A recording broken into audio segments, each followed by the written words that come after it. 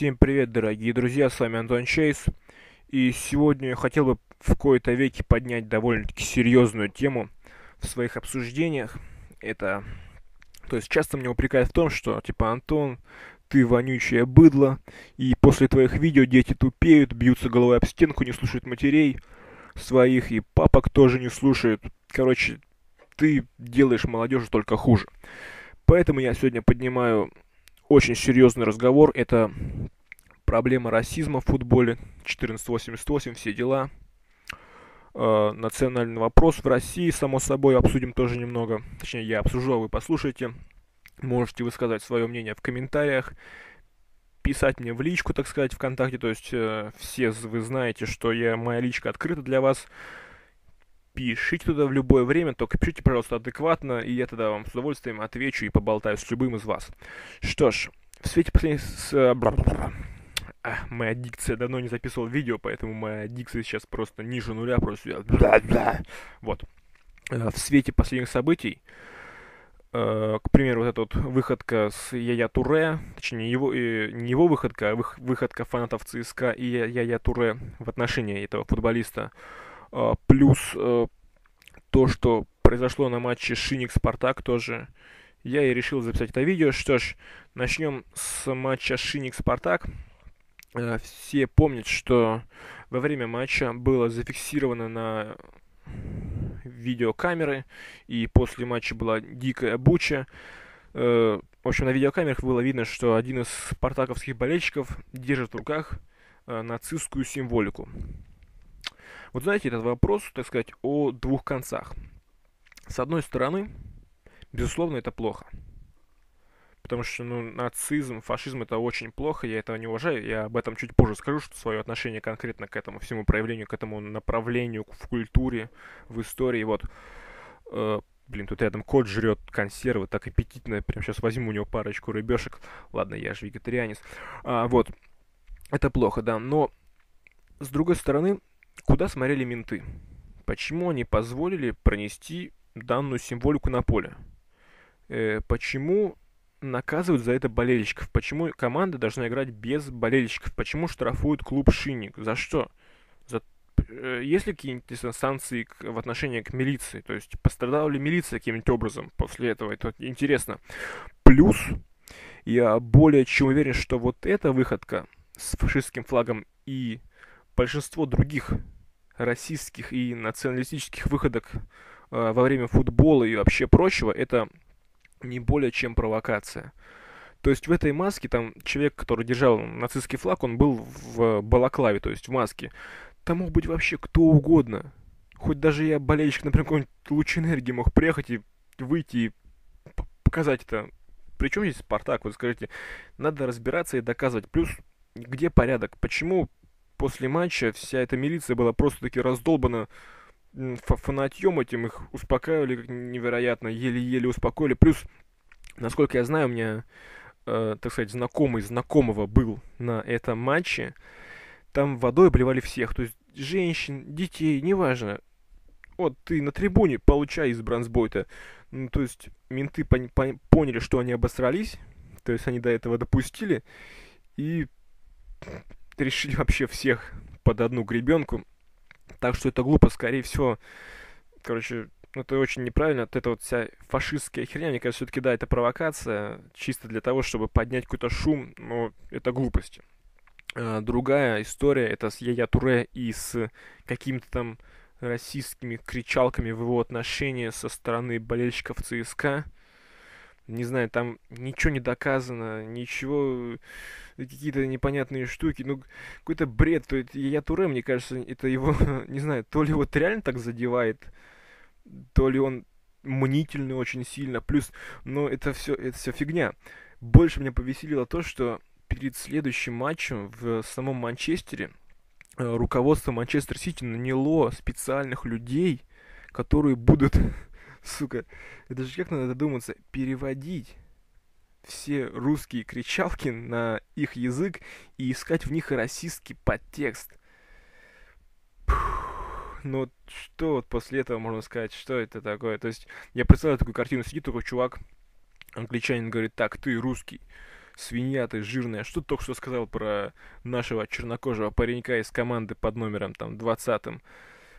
Я просто не понимаю, ну как такое можно придумать? Это действительно у людей просто вообще им делать нечего вместо того, чтобы как-то э, проблемы решать на корню, то есть э, контроль на стадионах, милиция, все дела, они какие-то нанимают каких-то людей, которые будут переводить мат с русского на английский. Ну, это, это, это полный бред, мне кажется.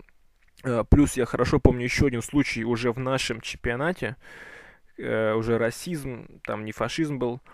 А, это когда Роберто Карлосу протянули банан, и тот расплакался. То есть Роберто Карлос, это мой любимый игрок еще до Роналду. Э, мне очень нравился Роберто Карлос, да и сейчас он мне нравится. Вот я помню, была такая мутка, что Роберто Карлос был типа зарегистрирован ВКонтакте. Я, когда он добавил меня в друзья, я был так рад и думал, нифига себе, сам Роберто Карлос в друзьях. А потом оказалось, что это фейк вроде как. Но не суть, не суть. Вот, дали ему этот банан, и он расплакался. То есть, вы представьте, мужику под 40 лет он плачет из-за банана. Вспомните ту же ситуацию с Оливером Каном, когда ему банан кидали. Он взял его, просто сожрал. То есть это, мне кажется, нормальное отношение к ситуации. То есть э, Оливер Кан сам попустил этих чувачков, тем, что он наплевал на них, на их взгляды. Вот. А, теперь поговорим, как это были футбольные такие мотивы. То есть я вам скажу, что считаю, что большинство выходок российских на футбольном поле это не более чем провокация. Ну, разве что такие люди, как Диканио, может быть, еще, ладно, такие серьезные псы. Плюс, вот, вспомнил одну штуку. Э, как-то был не слух, такая новость, может быть, буквально летом этим, что в каком-то греческом чемпионате какой-то или в киприотском, какой-то, короче, греческий игрок вскинул Зигу, и его вроде как отстранили от карьеры футбольной вообще на всю жизнь. Вы просто представьте, это как это какой бред, это, и какая это показуха. То есть э, есть гифка ВКонтакте, в которой Ван Перси вскидывает некое подобие Зиги, и что? Ничего. Ничего вообще, ничего. То есть, ну понятно, что отстранить какого-то там задротиса Пандописа намного проще от э, футбола, чем целого Ван Перси из Манчестер Юнайтед. То есть зато не покажут, смотрите, мол, мы боремся с этим, мы молодцы, ну... Вообще вокруг одна показуха, короче, чуваки, и провокация, все это не круто. Вот. А, что хотел сказать вам еще интересное, забыл немножко про эту всю штуку, штуку, штуку, штуку. Короче, вот он. Так, теперь мое отношение к фа самому фашизму и национальному вопросу в России. И, может, даже пару слов скажу про Украину. Про эти тоже взаимоотношения очень интересные. Что ж, фашизм... А, вот что хотел сказать к вопросу о Зиге. Сама по себе Зига — это же приветствие от э, сердца к солнцу. То есть, и оно было еще придумано еще в Древнем Риме. Сами подумайте об этом. Э, то есть, что в этом плохого? То есть, я от сердца к солнцу, то есть, все нормально. И только, и только из-за того, что фашисты так это испоганили, то есть того чувака отстранили от футбола, даже, мне кажется, не разобравшись в том, может быть, он реально, может, он грек древ древний, может, он до сих пор еще с времен Древнего Рима, там у него еще прадед вскидывал зиги в честь Юлия Цезаря, я не знаю, но они же, короче, все это а, эта вот нацистская свастика, это вообще, это же знак из э, очень старой какой-то древней религии индийской. Так что тоже Гитлер все понатырил себе, как, не знаю, как Свегер какой-то, который Свегер что себе ворует, кресты какие-то на себе рисует, вот.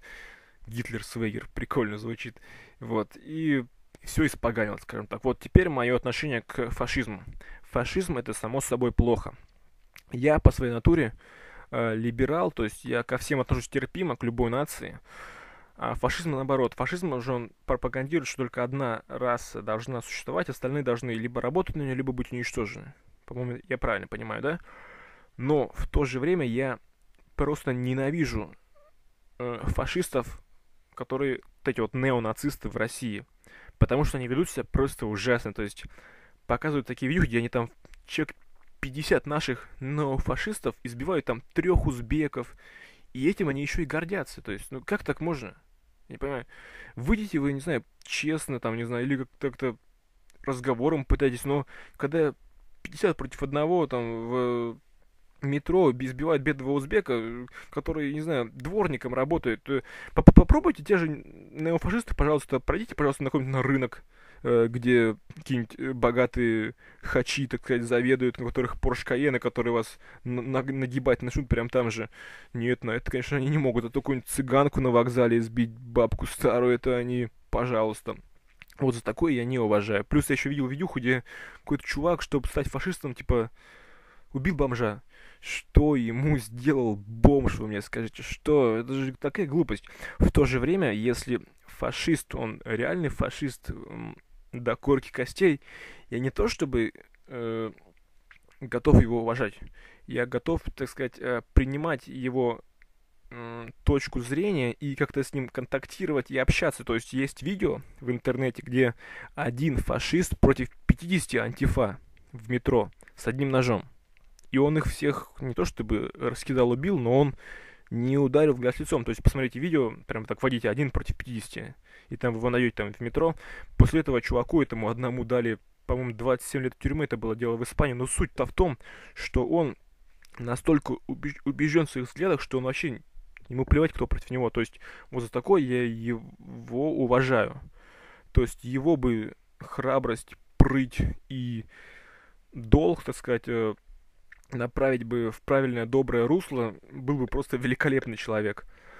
Э, вот. Так что в итоге могу сказать, что фашизм это безусловно плохо, но это лично мое мнение, да мне кажется, что и мнение любого адекватного человека это плохо. И все эти 14... А, кстати, вот по поводу еще одной херни.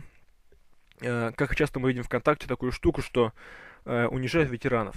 Особенно это часто можно заметить перед 9 мая. Ребята, тех, кто на это ведется и как-то на это агрится, вы делаете вообще неправильно. Вы вместо того, чтобы писать в группах, там, какие вы уроды моральные, твари, твари, твари, вы просто напишите в поддержку контакта, в техническую, мол, такая-то группа пропагандирует э, фашизм и плохое отношение к ветеранам. Все. На этом, мне кажется, проблему можно решать, потому что это им надо. То есть все, что они хотят от вас, эти все эти тролли, очень жирные, а, а агрессии, все, больше им ничего не надо. А вы, вы им, им ее даете. Вот, мне кажется, надеюсь, вы меня поняли и больше не будете на такое вестись. Вот, а что касается национального вопроса в России, то есть эти все вот эти вот узбеки, кавказцы, все дела, а, я отношусь ко всем не то чтобы с удовольствием, но терпимо. То есть я всегда говорю, что у слова «мудак» нет национальности. То есть шансы получить люлей от русского или от не русского в России абсолютно равны. У меня в жизни было две истории, когда меня чуть было не того. И одна была связана с кавказцами, другая связана с русским. Так что тут один-один. Э, может быть, как-нибудь я поподробнее вам рассказал бы об этом, но это... Хотя это веселые истории были, если честно говоря. Меня все-таки в них не убили, вот, не суть. Так что говорить, что там, типа, вот эти вот чурки все они такие плохие. Нет, это неправильно. То есть э, среди них тоже есть нормальные парни, нормальные телочки. Вот. Э, так что жить дружно надо. Но цыган, цыган я вообще вот не люблю. К нему, к нему у меня просто невероятная ненависть. Просто вот цыган, не знаю, просто цы, цыгане кошмарные люди. Что ж, э, надеюсь, что я более-менее как-то вам все как-то пояснил, что ли, не знаю. Короче, итог, можно сказать, мораль всего этого, что в спорте фашизм и расизм это вообще ужасно. И, к сожалению, зачастую это просто тупая провокация для того, чтобы там без болельщиков играли, чтобы штрафы были, чтобы кого-то, так сказать, очень-очень сильно потроллить. А, фашизм это плохо. И но фашисты, которые этим занимаются, мне кажется, вообще не понимают, что они делают, потому что, ну, как этим можно заниматься? Это же вообще это абсолютно отбитые взгляды. То есть считать, что ты лучше другого и должен его убить при этом, то есть, мне кажется, это неправильно.